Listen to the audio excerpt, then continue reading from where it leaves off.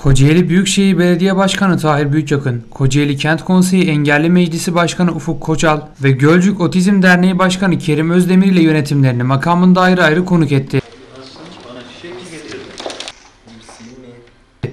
Türkiye'de engellilere dönük hizmetleri ve projeleriyle rol model olan Büyükşehir Belediyesi'nin yeni çalışmalarına yönelik görüşmelerde engelli hizmetlerinde fark yaratan bir Kocaeli var diyen Başkan Büyükakın, birbirimizin eksiğini hep birlikte yine bizler tamamlayacağız ifadelerini kullandı.